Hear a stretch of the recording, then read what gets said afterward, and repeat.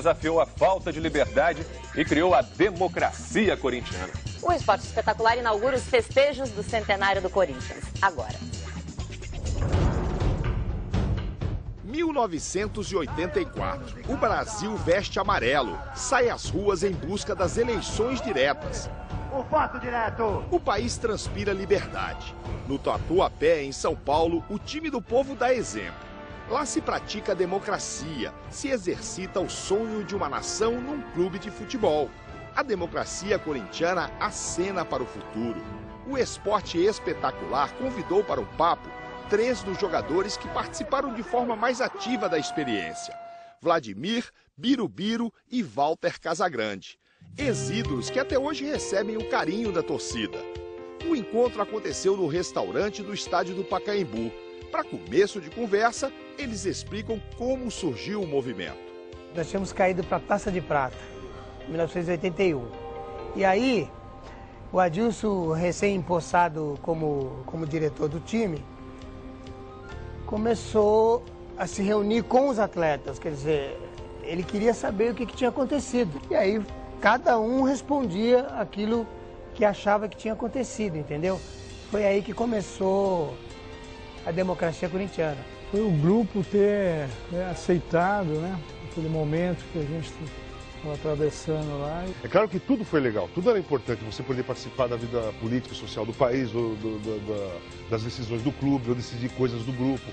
Mas o que mais me vem assim, de, de, prazer é lembrar o relacionamento que nós tínhamos lá, entendeu? Com o apoio da diretoria, coube aos jogadores decidir o que era melhor para o grupo. A gente tinha a oportunidade de interferir nas decisões do clube, né? Isso foi, a gente elegeu um treinador, a gente votava sobre, votamos sobre a concentração. O primeiro técnico escolhido por eles foi Mário Travalini, que entendeu a importância daquela experiência e conviveu muito bem com o grupo sem perder a autoridade. Mas Travalini teve uma sensibilidade tremenda, né? Porque no processo, cada um tinha a sua atribuição, tinha a sua responsabilidade. Então, a gente sabia que o massagista tinha que fazer massagem, o médico tinha a atribuição dele, o técnico tinha que escalar o time, e ele escalava, e nós tínhamos que jogar. E todos participavam das decisões conjuntas, quer dizer, cada voto, a soma dos votos é que vencia. Né? Agora, mas vocês conversavam com ele, inclusive, a respeito de escalação? Escalação não. Não, respeito de escalação. Não, não escalação. Não. É, escalação ele, ele, ele, é, ele tinha autonomia para decidir. O jogador também que ele tirava, que tinha alguma coisa, a gente cobrava também. Depois na reunião nossa também a gente cobrava do, do próprio jogador, que saiu chateado, falando as bobeiras, a gente conversava para deixar tudo e só em cima isso. disso, tá no meio do treino, de repente, é. parava o treino. Vamos, vamos tentar fazer, eu acho melhor desse jeito aqui. Eu, eu, eu por exemplo, eu, eu prefiro cair mais pela esquerda, o Biro jogava pela esquerda, eu gostava de jogar de volante, caía muito pelo meio, eu entrava, eu tinha característica para ir para o lado esquerdo, então, era, então a gente passava aquilo que era melhor para nós. Dentro de campo, o time correspondeu com a conquista do bicampeonato paulista, 82 e 83. Parte da imprensa dizia que era uma anarquia, ah, uma anarquia, os jogadores fazem o que querem, essa coisa toda, e não era bem assim, né? A gente sabia que aquela liberdade tinha que vir com muita responsabilidade, entendeu? Unido, o grupo não interferia apenas nos assuntos futebolísticos, os emocionais também.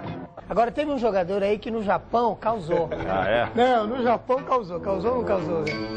Hein? Você se lembra desse jogador? Depois de viajarmos 30 horas, o cara desceu do avião, quero voltar. Aqui eu não vou ficar. Aqui eu não vou ficar. Pô, mas... Por quê? Eu tô apaixonado. Falei, ó, fala sério. Pô, é democracia. Eu, eu coloquei vamos, meu problema. Vamos votar. É, janeiro. Tá, votamos. Ainda teve umas quatro votações. É, eu perdi as quatro. Mas como deve ser em qualquer democracia, nem todo mundo tinha obrigação de concordar com o processo. Foi o que aconteceu, por exemplo, com o goleiro Leão. O Leão veio, a gente sabendo, principalmente quem foi, quem foi é, pedido a opinião, porque o Vlad já tinha jogado com ele, o Sócrates, sabiam que era um ótimo ele goleiro. Tinha essa personalidade. Ele tinha essa personalidade. Com as saídas para o exterior de líderes como Sócrates e Casagrande, o movimento corintiano perdeu força a partir de 85 e acabou. Atualmente, será que seria possível repetir a experiência em algum clube brasileiro? Difícil, é difícil, é difícil. Pegar uma equipe que tenha é, essa cabeça aí, que teve né, os diretores. O grande legado desse nosso processo era o grupo de jogadores que tinha, entendeu? Um grupo que sabia o que queria,